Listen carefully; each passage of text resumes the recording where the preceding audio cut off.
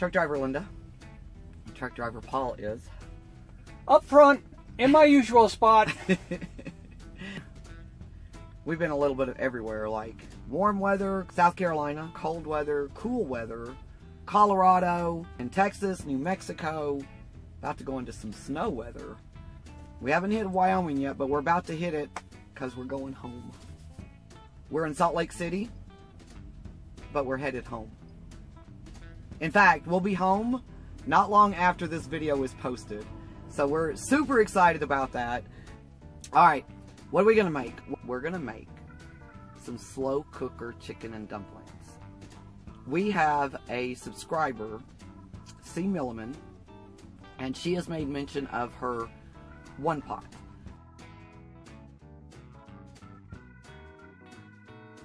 So I don't actually have a one pot. I think I call it a one pot a lot, but I have a aroma um, rice cooker that's also a slow cooker. So we're going to use the slow cooker today. I thought it was something that she could make. I'm going to add a little extra chicken to mine because I got it on sale. So I just need to go ahead and cook it all up. It's like two pounds.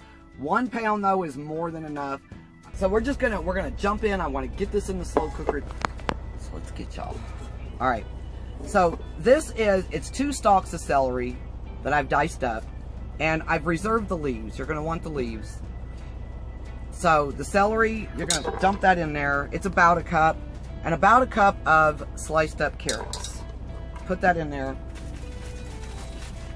I have it, it's actually two pounds of chicken tenders.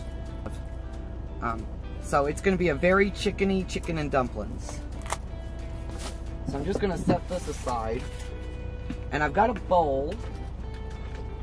And in this bowl, I'm to add one can. It's a like a 10 ounce can, 10 and a half ounce can. Cream of chicken soup. One can of cream of celery soup.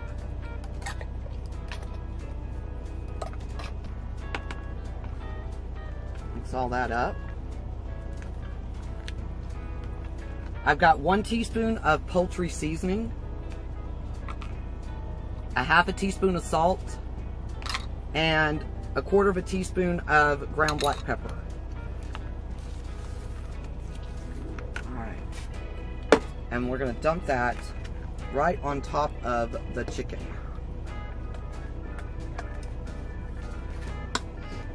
Alright, and then I'm going to add two cups of chicken broth.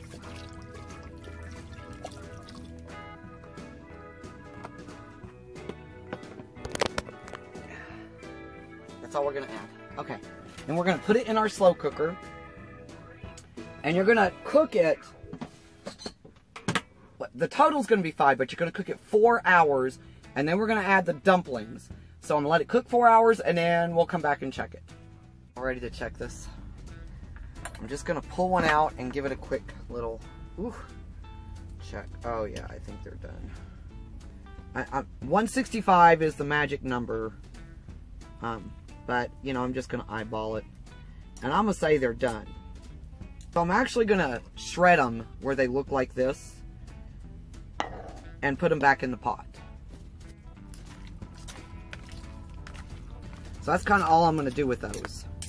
I'm just doing a kind of a rough shredding because I, I really do want big chunks of chicken. And then I'm going to add them back into my slow cooker.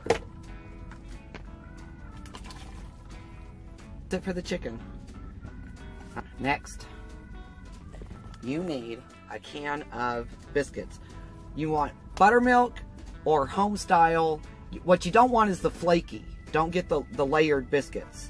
So buttermilk is what I'm using. So get you a couple of biscuits. I'm going to do a couple at a time. And you want to just flatten them a little bit.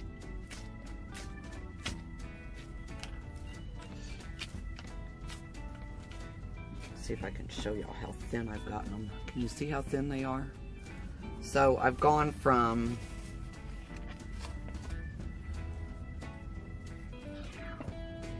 this to this. So you want them kind of thin. And then you just want to like cut them in strips. Maybe about like that. Okay, I'm gonna actually stick those in this bowl and move on to the next one.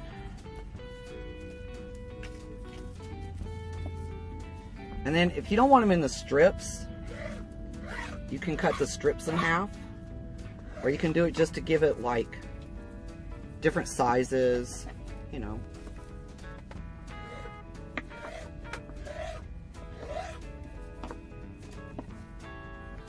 Alright. And keep doing that until you've done all eight biscuits. Alright. Alright.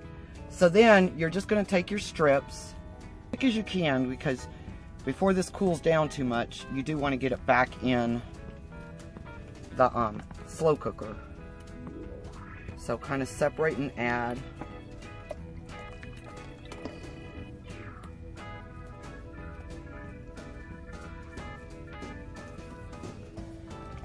Okay. Once that's all done, the celery leaves that you chopped up and saved, we're going to add those now. And if you want, you can save some or chop up some more to garnish it with. Add those and then put it back in your slow cooker. Owie, that's hot.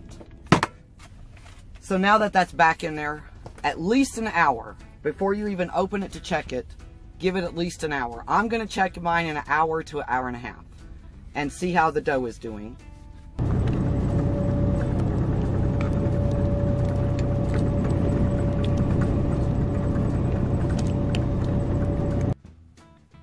All right, y'all.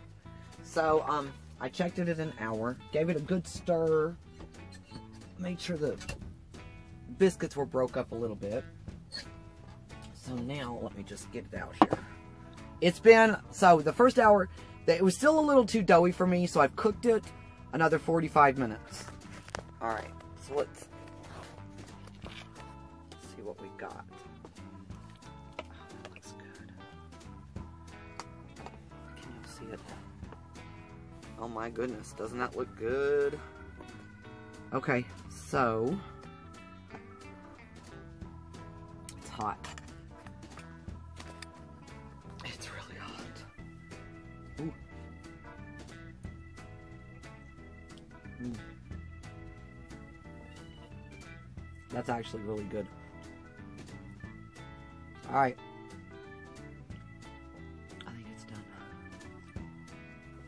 Yeah, it's done. So I'm gonna get it all served up, and then we'll get Paul back here, and we'll see what he thinks of it. All right, y'all. Oh, Oh, look at there. It Oh. turned out so great. Oh my God. I'll spill it. So I just garnished it with some celery leaves. If you could just somehow see all the mountains. It's got some snow up there and it's awesome looking. Oh, do you want me to switch the Yeah. camera? Just, yeah, there you go. What a view through our office window. Yeah, yeah, we do have a good view for eating today. Man. Mm, dumplings, Mm. chicken and dumplings. It's a classic. That's awesome. My mama used to spend all day making chicken and dumplings. It's so good. Mm. Very good. Camera's like, Bouncing around, they're Yeah. loading us right now. that's our load home. We actually haven't been home home since April, just to be home. Mm-hmm. When we were home in July, it was we were home long enough to get on an airplane really. That was it. We didn't really get any time at home. So Man, this is good. our grandkids has been calling all day, when are you gonna be home? Now, we're almost loaded. Mm. Alright, y'all. She did a wonderful job. Nice accepting. We're going home. Yeah, we're on our home side. If y'all don't see a video Tuesday, it's because we're at home. And I just didn't get one done. Thanks for watching. T. Milliman. If you make it, let us know. If you do it in your one pot and you do it under the pressure cooker, let me know. I've been... I'm wishing I would have bought one when I got after I got the aroma, but I didn't. Gotta let us know when you do it so we can come and eat it. Oh, yeah. All right, y'all. We'll see you next week.